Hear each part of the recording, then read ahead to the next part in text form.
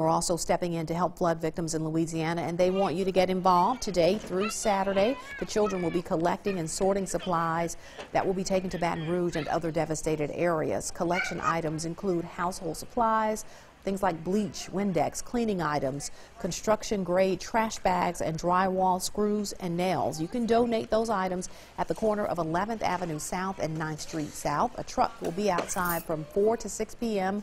today, so you've got about an hour left today, and then on Friday as well as Saturday from 10 to 12 and then again from 2 to 4. If you can get more information on how you can help, visit the Palmer Home for Children's Facebook page.